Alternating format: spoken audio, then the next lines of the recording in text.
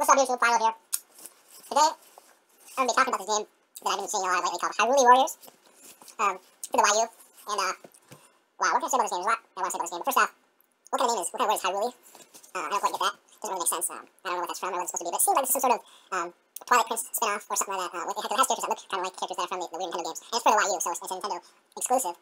So, you know, maybe it's a spin-off of that. I don't know if you guys, if you guys know that, post in the comments below. Uh, first off, this game has some really terrible graphics for a HD system. Um, graphics look like they, this game looks like it came out in 2002. That's how bad the graphics are. It looks like it came out on like the, the game, GameCube or Xbox or something. They're that bad.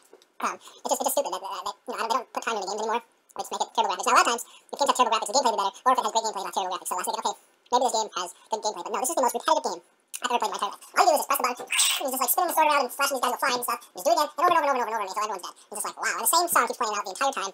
It's like, the whole game.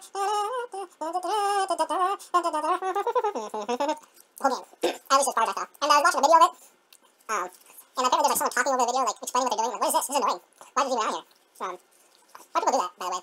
If I were watching a video, so playing a video game, I don't want to hear their annoying voice. Like, hey guys, what's up? Welcome to my channel. Gonna play this game. If you, if you saw my other channels, let me know what video made you subscribe. Anyways, it's a totally different rant. Then I'm gonna be, I think we're on and do Biome Let's Plays later, so that's all I have to say about Hyrule Warriors. Don't pick it up. I mean, if you, you won't pick it up anyways if you're smart, because you don't have a Wii U. You have an Xbox One if you're a really hardcore gamer. So that's all I have for today. I'm gonna finish my bagel, and I'll talk to you guys later.